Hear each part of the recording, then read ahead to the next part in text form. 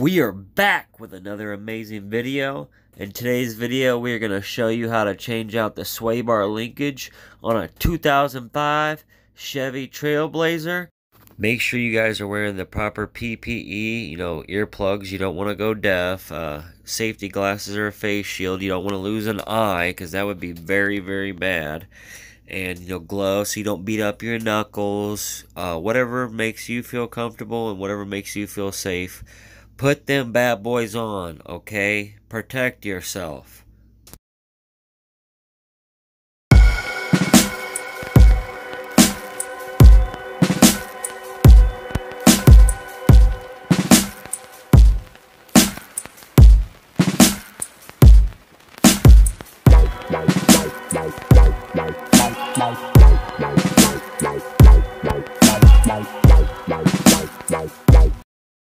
Here's what the 7 8 socket looks like, guys.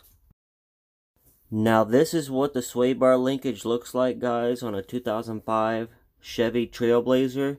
We are going to be replacing the driver side and passenger side front and back, so all four of them. So this is what the part looks like, guys, just for your reference. Man, I'll tell you what, when things can go wrong, they will go wrong we had a heck of a time getting the sway bar linkages off. So we had to tear off the boot part right there. You know, you tear it off on all four of them. We had to do this. So we tear that boot part off. Then we grip it with some vice grips and then it holds it in place as you use your impact to, to loosen it and take it off simple as that, but it took us, you know, several minutes to be able to remove the boot part on each of these. Now I leave things like this in here, right here, the little things that don't go right. I leave them so you guys can see and know that I'm keeping it real with you guys. Not everything goes right. Not everything goes as planned. You gotta keep pushing and moving forward. So, you know, it only took us about 45 minutes before we figured it out, but you're going to need this Allen wrench type fitting right here. Um, it'll make your job a hundred times easier. Use that to keep it from spinning and it'll slide right off. Again, it is an H6 fitting. It's an Allen wrench type fitting. Just use this, find it. You, They're fairly cheap um, and it will make your job 100 times easier.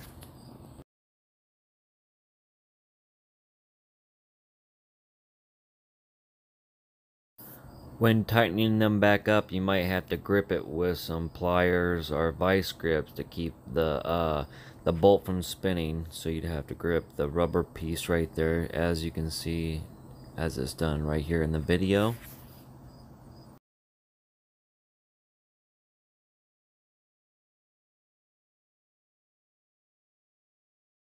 Just a quick shot of a new one replaced right here and what it'll look like just so you guys have a better idea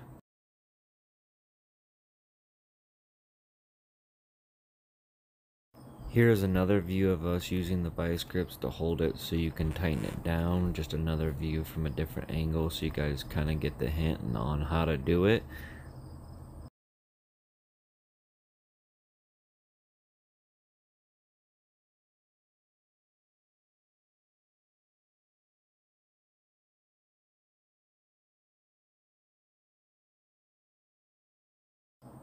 After using the impact, just go back through with a wrench and make sure they're all the way tightened down. Make sure you can't tighten them down anymore. Make sure they're snug. You gotta properly tighten everything. Remember that. grease good. What is this, Sean? It's a grease zerk grease fitting. It's a grease fitting. Grease fitting. You gotta grease them,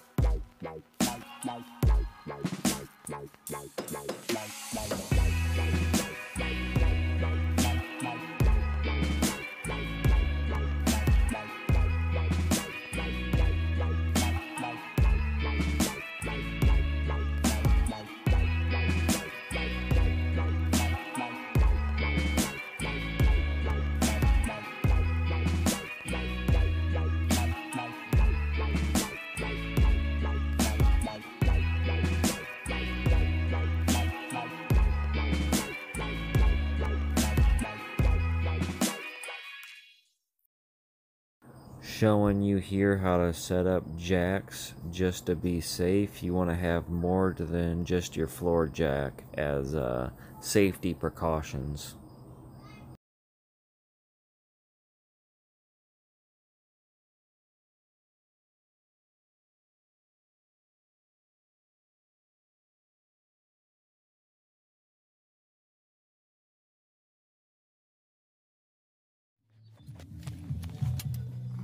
Here I am starting the back side, so we are starting on the back passenger side.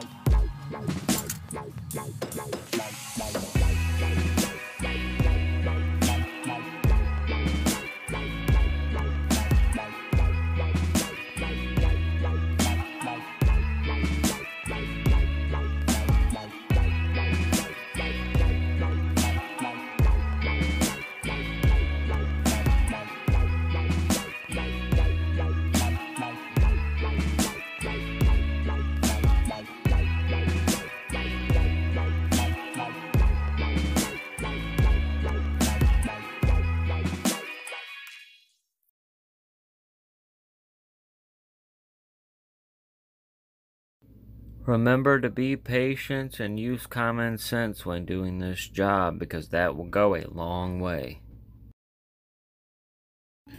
Again, this is the back passenger side that we are completing right here.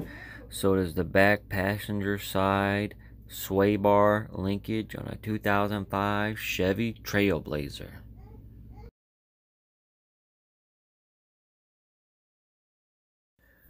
Threads got crossed, things got stripped, and this was the end result. We had to grind it off, and it was a it was definitely a process, and it definitely took a lot longer than we expected.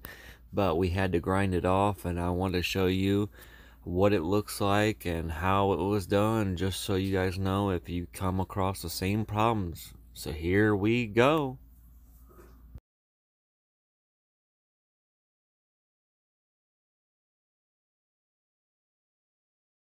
So we had to grind it down so it was smooth enough. After it gets smooth enough, we use a punch and we punch it out as you will see in the video, but it was definitely a very long process. So we didn't get it grinded down smooth enough and the whole punch doesn't work. So we're going to have to go back, regrind, uh, a little bit of it, make it just a little bit smoother, take off some burrs and everything, and then the whole punch is going to work.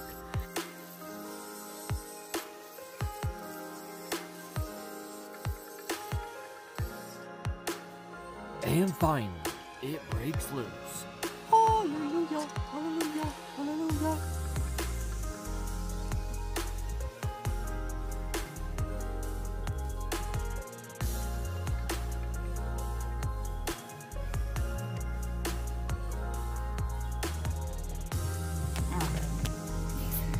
Here we are pounding the H6 attachment in the top of that back passenger. It, again, you're going to need the H6 attachment for this part. It's a little tricky and it got a little hairy for us, but we got her done.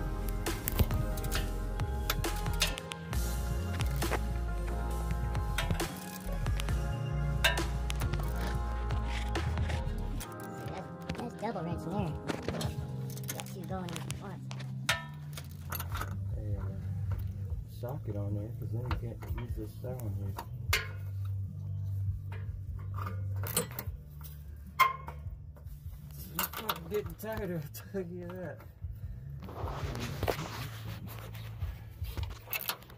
Why it always gets tighter like that. The farther out it gets.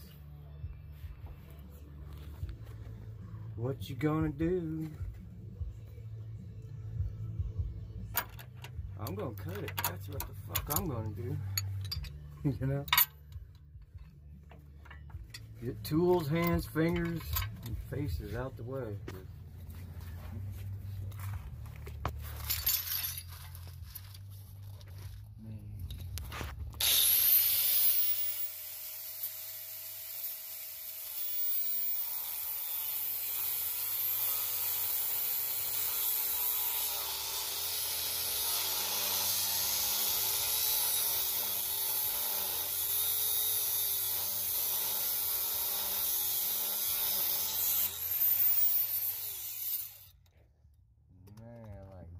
cutter.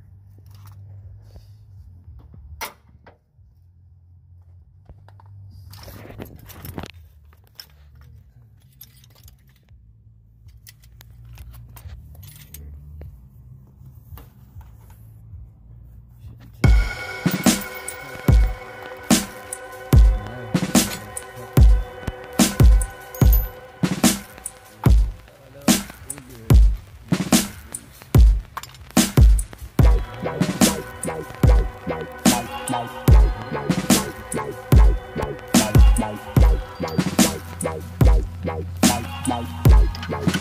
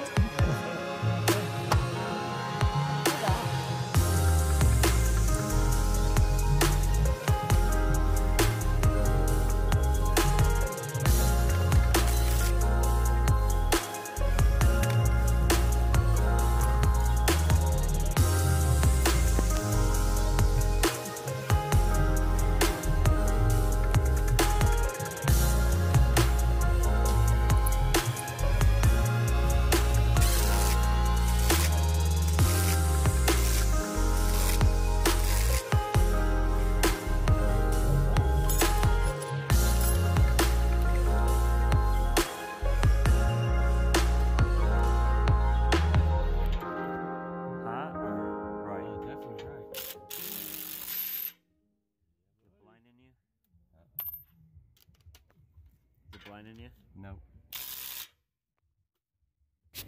As he's putting on the last sway bar linkage, why don't you drop a comment down below for your boy and say you made it this far in the video? Let me know you made it this far. It's nice to know people watch the videos, you know?